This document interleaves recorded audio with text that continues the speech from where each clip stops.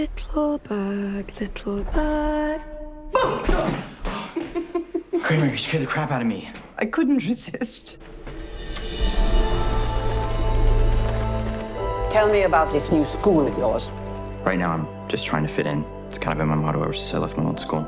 Julian, you did not leave your old school. You were expelled for being cruel to another boy. I'm sure your father has told you stories about when I was a young girl.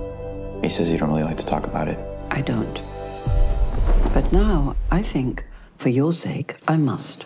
Little bird, little bird. Excuse me. Oh God, what is he doing? I saw this on your desk. Thanks. You're welcome. I didn't even know his name. Look at this freak. But we had in common one crucial thing. These are really good. For a Jew. We had both seen how much hate people are capable of, One of the children's missing. Find him! and how much courage it took to be kind. You need to come with me right now. I know a way out. You stay with us, okay? When in dark times,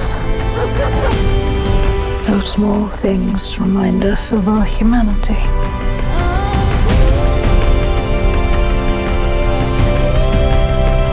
How would you like to visit New York tonight? Sure. Open your eyes.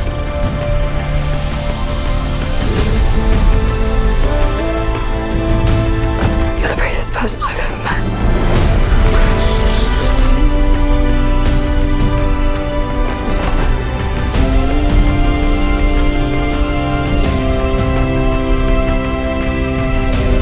You forget many things in life, but you never forget kindness. Because when kindness can cost you your life, it becomes like a miracle.